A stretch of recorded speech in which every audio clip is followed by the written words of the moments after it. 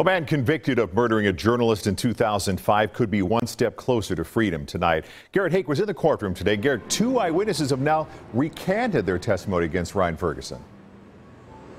Mark, that's right. And today, a three judge panel heard from Ferguson's attorney and from the state and could decide whether or not to completely throw out this case in a matter of days or weeks. Now, today's hearing centered around the testimony of Jerry Trump, who was a janitor who worked at the Columbia Daily Tribune with the victim, Kent Heitholt. Trump said he recognized Ferguson and the other man charged with the murder after seeing their pictures in a newspaper after they had been arrested. In April of last year, though, Trump recanted that testimony. Now, today, Ferguson's lawyer argued that with both both eyewitnesses changing their stories and no physical evidence linking Ferguson to the crime, the conviction ought to be thrown out. After the hearing, Ferguson's father said prosecutor Kevin Crane's entire case had come undone. He was uh, found guilty with innuendos and false testimony.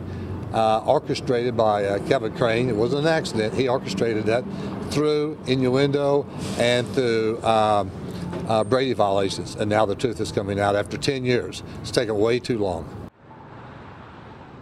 Now, coming up at 10 tonight, we'll take a much closer look at this case, including why some people call it the dream murder.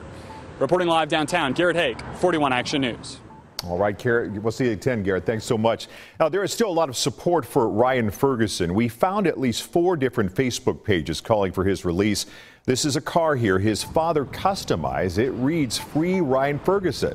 His father, Bill, plans to take the car through 14 states.